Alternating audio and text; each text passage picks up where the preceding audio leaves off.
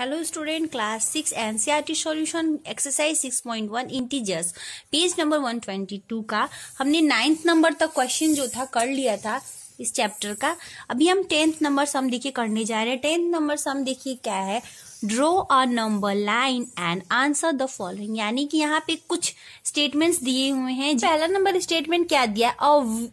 A number which number will we reach if we move four numbers to the right of minus two यानी कहने का मतलब है कि माइनस टू से अगर हम चार नंबर तक आगे मूव करते हैं, किस साइड में? राइट right साइड की ओर अगर मूव करते हैं तो हम कौन से नंबर पर पहुँचेंगे? तो यहाँ पे ड्रॉ करने तो बोला ही है तो हम ड्रॉ करके देखते हैं, ठीक है? तो मान लीजिए कि इंटीजर्स की नंबर लाइन हमने इस तरह से बना लिया। और हमेशा ये एरो देना है, आप ध्यान रखिएगा, ठीक है? अब यहाँ पे हमने ज़ीरो कर दिया बीच में।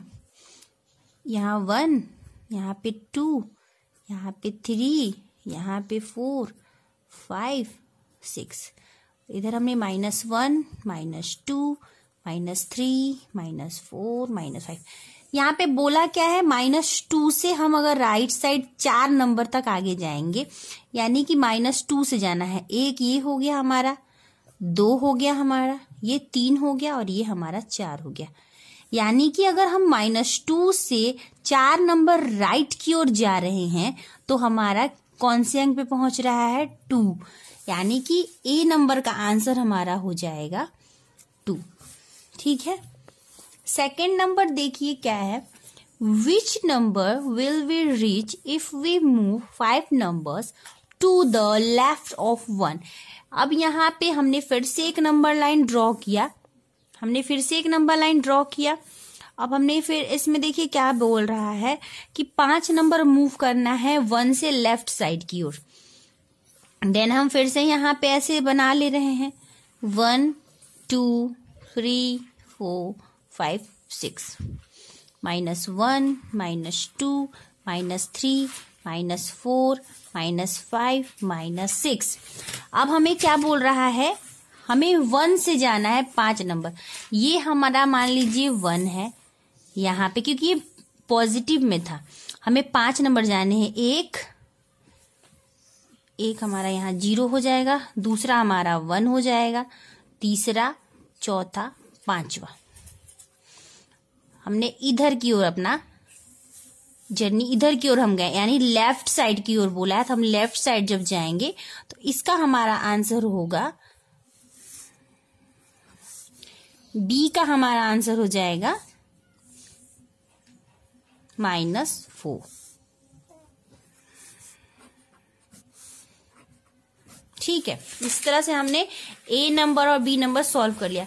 सी नंबर देखिए क्या कह रहा है if we are at minus 8 on the number line, in which direction should we move to reach minus 13 यानी कि अगर नंबर लाइन पे हम माइनस एट से माइनस थर्टीन की ओर जा रहे हैं तो हम कौन सी दिशा में जा रहे हैं? यानी ये डायरेक्शन कह रहा है तो हम कौन सी दिशा में जा रहे हैं?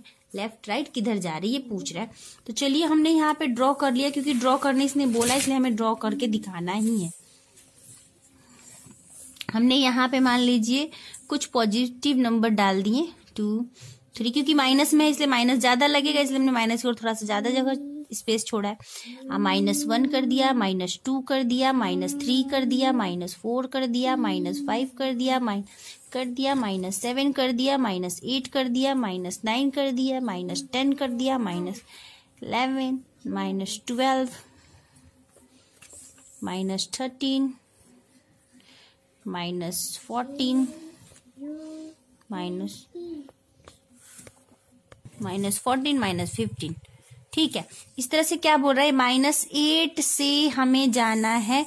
किस दिशा की ओर पूछ रहा है? अगर थर्टीन की ओर हम जाएँगे, अगर हम माइनस एट से जा रहे हैं, किधर जा रहे हैं? हम लेफ़्ट साइड जा रहे हैं। ठीक है? माइनस थर्टीन ही रहा हमारा। हम किधर गए? लेफ़्ट की ओर गए ना माइनस एट से। इसका आंसर हम लिख सकते हैं। We have to move on left side of minus eight ये इसका आंसर हो जाएगा।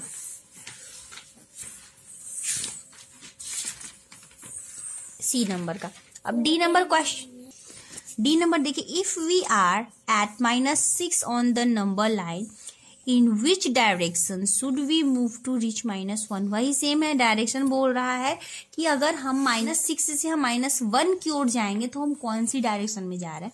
यहाँ पे माइनस सिक्स से वन की ओर पूछा है, ठीक है? तो चलिए हम नंबर ड्रॉ कर लेते हैं लाइन को। ड्रॉ तो करना ही है क्योंकि इसने ड्रॉ बोलना है करने के लिए, इसलिए हमें ड्रॉ कर दिया। अब यहाँ पे हम थोड़ा सा पॉजिटिव नंबर बनाएँगे।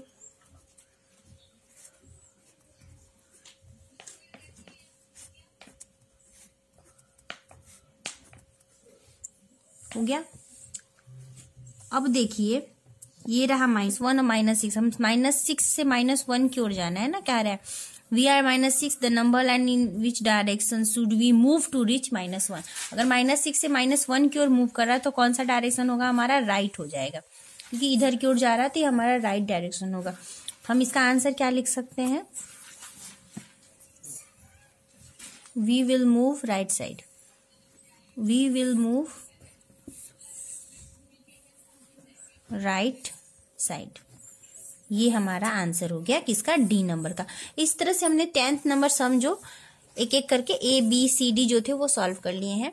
आई होप सो आपको अच्छे से समझ में आया हो। अभी तक के पूरे टेन चैप्टर के जितने भी मैंने सम बताए हैं, वो सारे आपको अच्छे समझ में आए हो।